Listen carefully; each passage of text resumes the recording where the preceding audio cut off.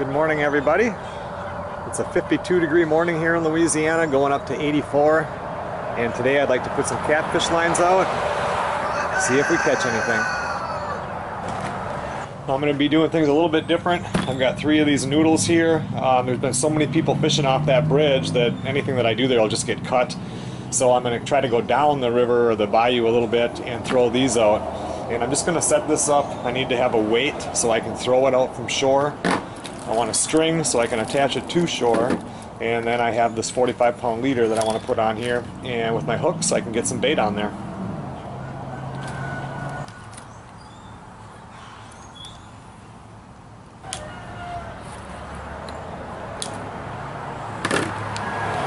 I know I would have better luck if I put like a monofilament down to the hook, but as many times as I've done this, I get more things that are broken off and bent, and I'm just going to try it this way because I've done it like this before and just wait to catch the dumb ones. Now these won't be right on the bottom. I don't, you know, I threw them on the bottom. I just have better luck when they're off the bottom. I'm going to put a second leader on this one, so this one will go a little bit deeper. And we'll just see what happens.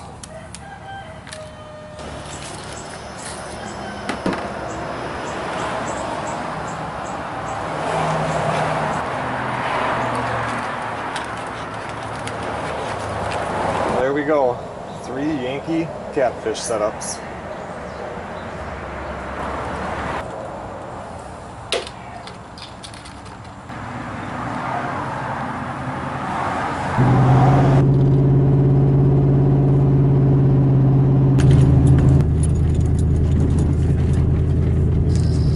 There's quite a few people up there by the bridge. They're not fishing on the bridge, but there's people that are doing work way back there on a pipeline project and somebody was signing in and there's two trucks there that had uh, put boats in because there's boat trailers. So I'm gonna walk down here to get away from the people. So hopefully nobody will tamper with us.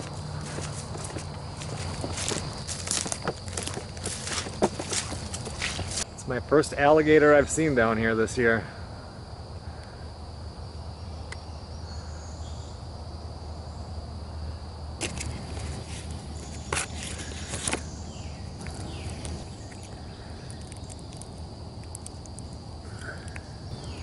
Well, there's my setup right there.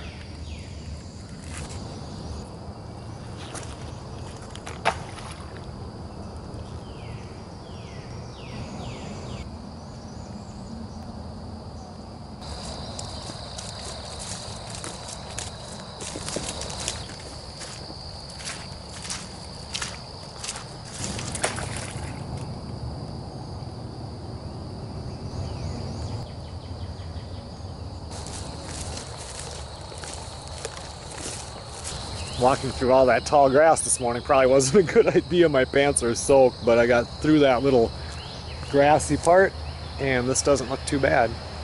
Sounds like there's a boat coming right now.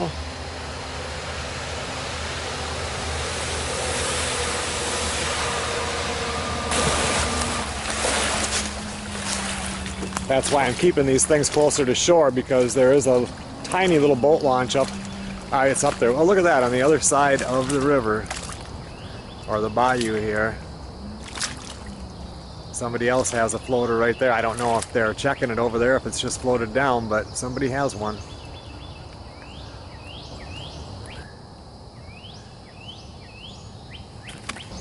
All right, well there's the third one. We'll just let these sit, come back later, see if anything happens.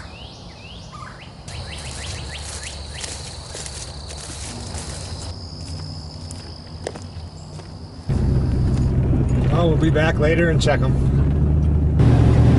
Heading out now to check those catfish lines.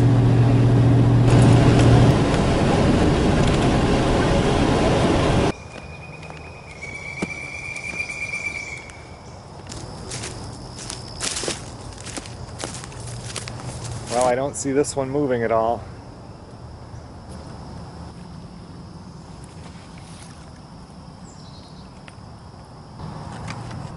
Oh, this one here, the bait's gone. I'll rebait it and throw it back out.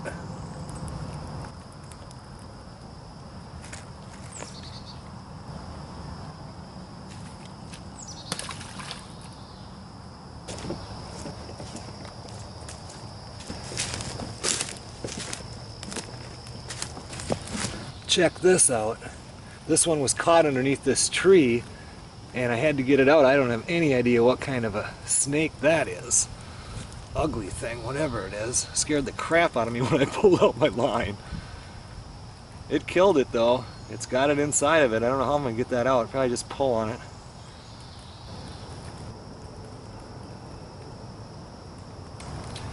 I've caught some weird things in my traps, different kind of fish, but I've never caught a snake on a catfish line.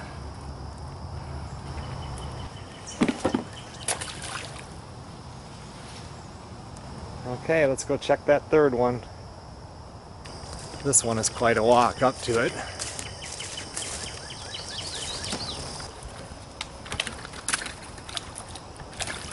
Ooh, I got one on there, something. There we go. he isn't very big. I suppose most people would call that a bullhead, but they're tasty.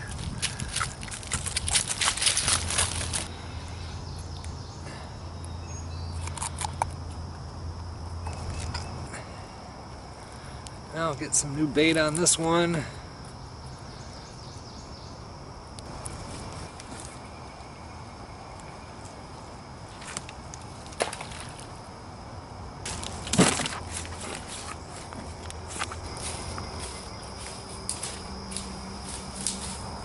You can see there's guys fishing on the bridge there. That's why I haven't run any lines off the bridge this year because so many people use it now.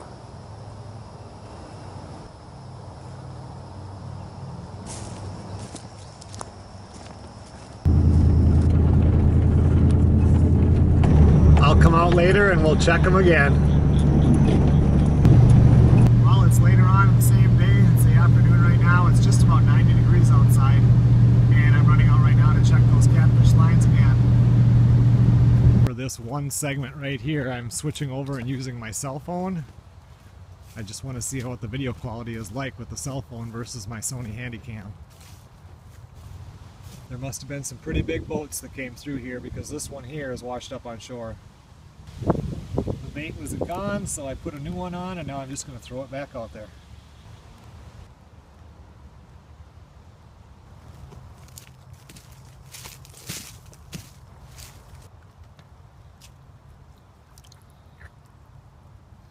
Well, that one still has the bait on it.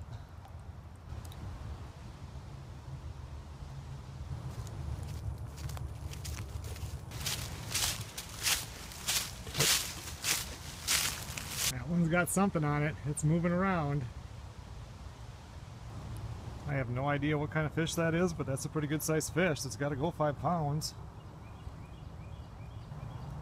Okay, I have a new crayfish on there. It's back out in the water. See if we catch anything next time. That's I got really big crayfish on this time. I'm going to go back and figure out what kind of fish that is, and if it's not something that people eat, I know it'll go great in my mud bugging traps when I reset those out next week. I'll see you guys back out here again tomorrow. Alright, now I'm back to my regular camera. Anyway, this is a Gaspergou, they call them down here. Uh, the real name would be a freshwater drum. It's supposed to be really good to eat. This one here is about 18 and 3 quarters of an inch long. And I don't have my, uh, oh, my scale for weighing the fish. That was lost in the flood, so I'm guessing it's 5 or 6 pounds. That's what it felt like. But uh, anyway, I'm going to get this filleted up so eventually we can eat it.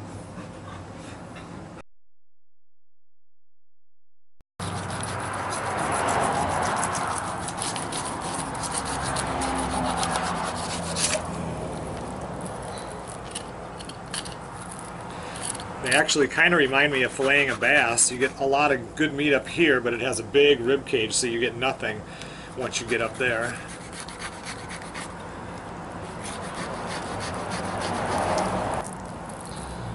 Real nice piece of meat there.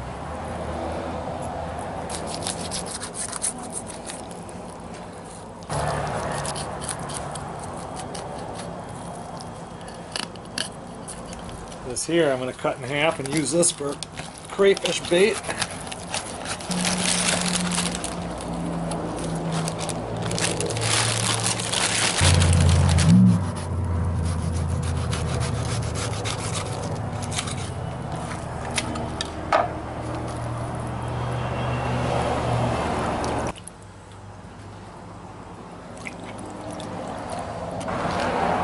For this little guy, I just when I got home, I just threw him in the fridge. Wait till I could do more than one at a time.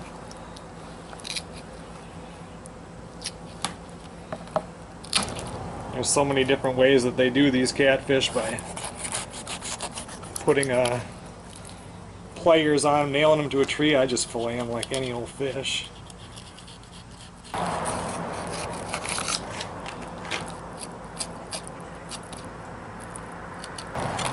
You just got to get up and around this bone that they've got right here.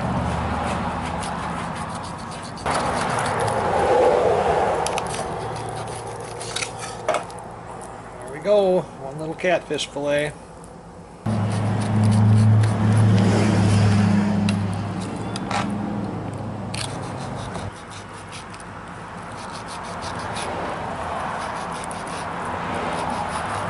Gonna go get these washed up real good and put them in the freezer. And uh, like I said, tomorrow morning we'll go back out there and check those uh, little catfish setups again.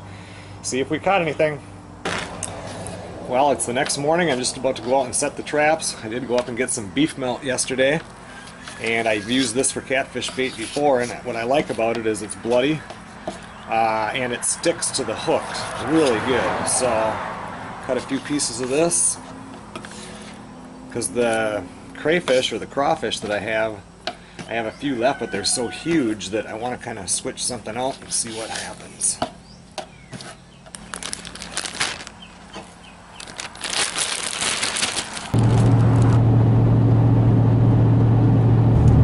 You see, we already have a bunch of people up there fishing on the bridge.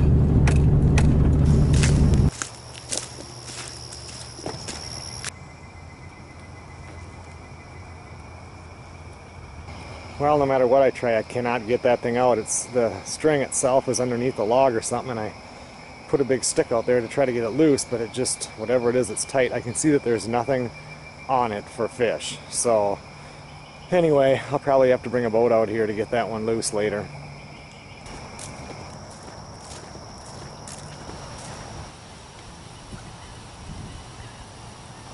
Well, nothing on that one, but the bait is gone, so I'll get some beef melt put on there and get it tossed back out.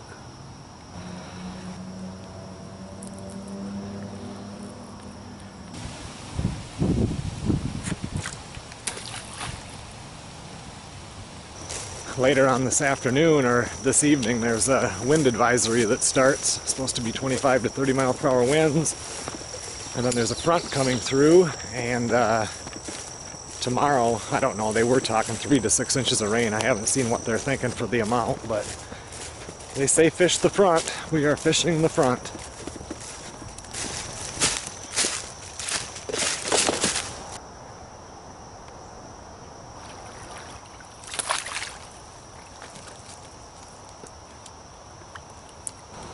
Well, that one didn't have anything on it, and uh, the bait was gone.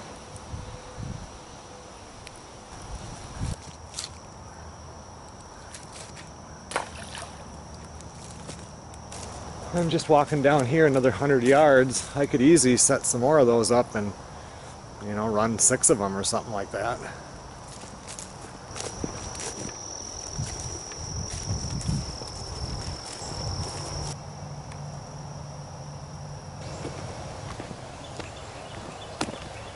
We'll come back later and check those lines. Well, I'm headed back out to check the lines this afternoon. I really didn't think I was going to get a chance to. We're under tornado warnings and all this risk for severe weather. and We're supposed to get so much rain, but most of it has just been staying north. Uh, my truck, I took Melissa's truck this time. My truck has some little leak with the uh, one of the brake lines or something. I don't know, so I just grabbed her truck.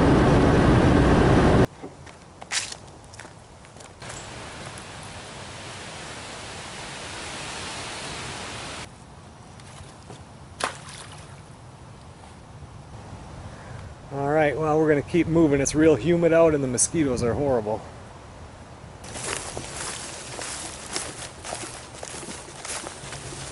Well, I don't see any movement on it, but we'll check it out anyway.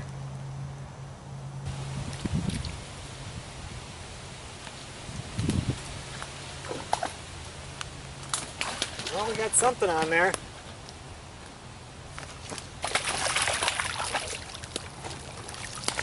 Oh, another one of those little cats. Little bullhead, whatever it is. Nice.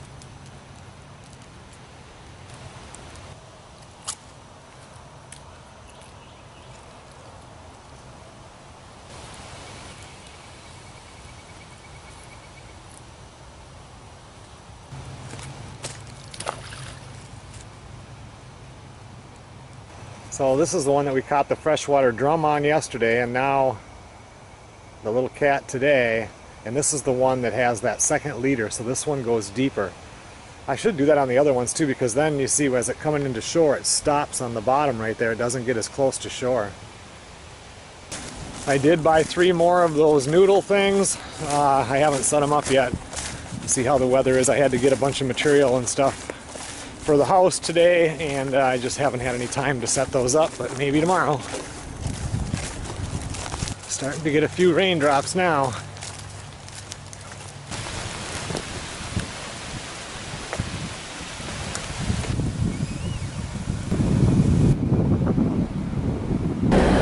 Well, we'll come back out tomorrow. See you guys then.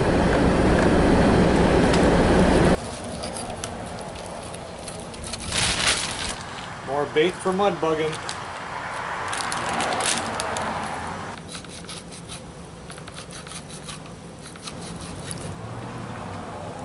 I know these fillets, they look a little small, but when you run up just up the road here, there's a place where you can buy seafood and fish fillets, and you go in there and buy them for cooking, and that's about the size they are. So I've caught a lot bigger catfish, but these taste just as good as the big ones. Alright, well I'm going to go get them washed up, throw them into that bag with the other ones, and uh, we'll be back out there tomorrow morning to check those lines. In fact, I think I'm even going to set these up, so I don't know what the weather's going to be like in the morning, but then at least I could throw these out.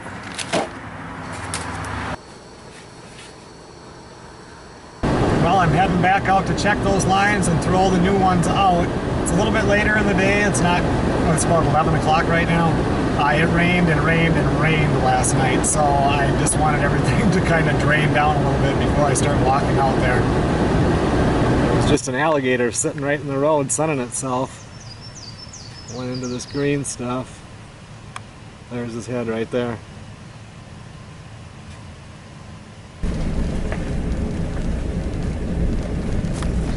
Wow, look how high that water has come up. All this was dry in here all this was dry yesterday.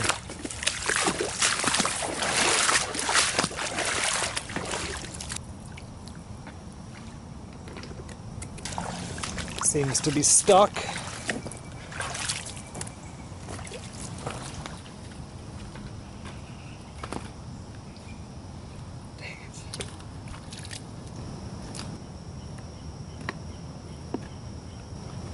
Well, I couldn't save that one. It broke off, so I had to put a new leader and a hook on there. And now I'm putting on some bait.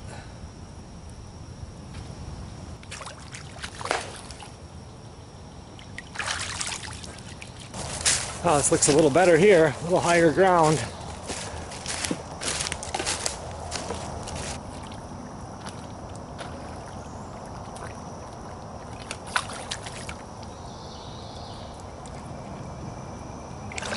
Well, the bait's gone.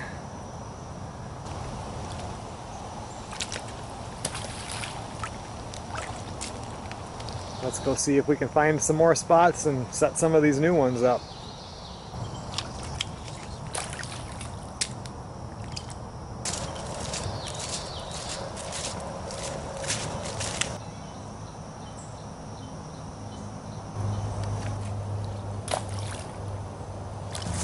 One more to set up here.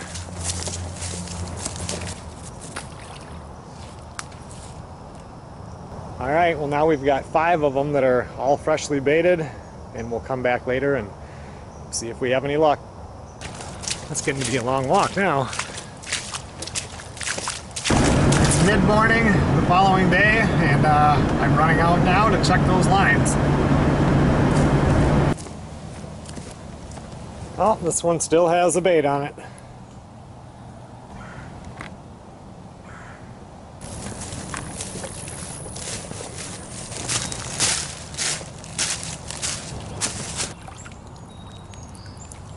Well, this one still has the bait on it also.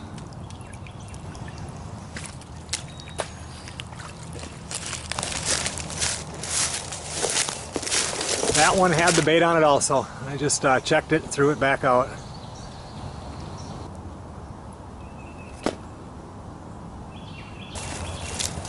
Definitely having no luck with the beef melt at all, except for, well, we caught that one fish on it earlier, but I need to switch back to crayfish.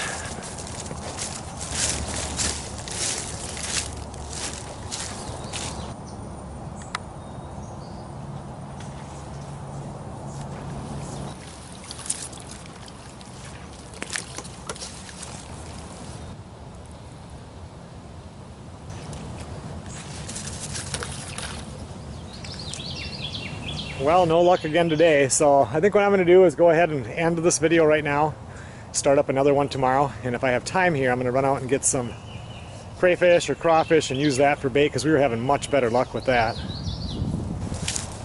I only need one or two more fish, depending on the size, and I have enough for a fish fry, and I'm trying to get there before I head back to Minnesota. Thanks a lot for watching, everybody. We'll see you guys on the next video.